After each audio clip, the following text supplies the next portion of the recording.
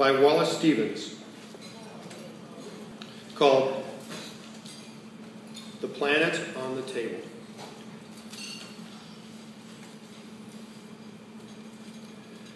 Ariel was glad he had written his poems. They were of a remembered time or of something seen that he liked. Other makings of the sun were waste and welter, and the ripe shrub writhed. His self and the sun were one. And his poems, although makings of his self, were no less makings of the sun. It was not important that they survive. What mattered was that they should bear some lineament or character, some affluence, if only half perceived in the poverty of their words, of the planet of which they were part.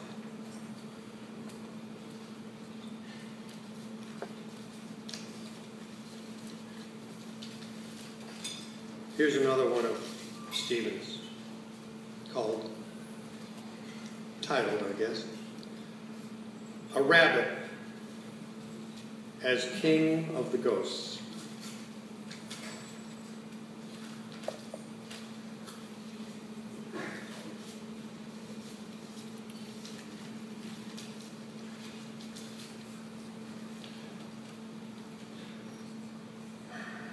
The difficulty to think at the end of day. When the shapeless shadow covers the sun and nothing is left except light on your fur. There was the cat slopping its milk all day. Fat cat, red tongue, green mind, white milk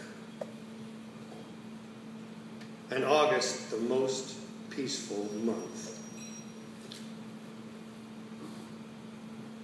To be in the grass in the peacefulest time without that monument of cat,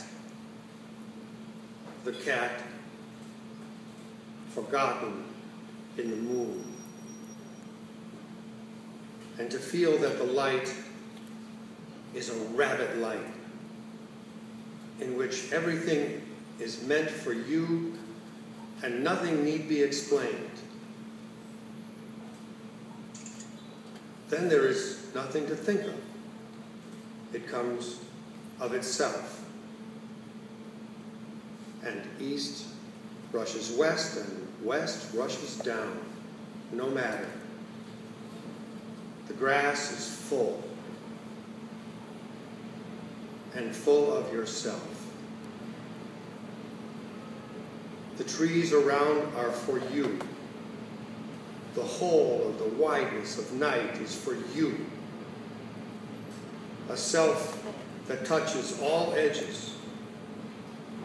You become a self that fills the four corners of night. The red cat hides away in the fur light. And there you are, humped high, humped up. You are humped higher and higher, black as stone. You sit with your head like a carving in space, and the little green cat is a bug in the grass.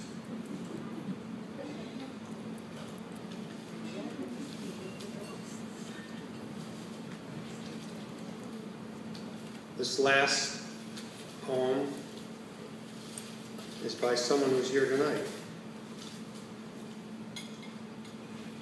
Galway Kinnell. It's called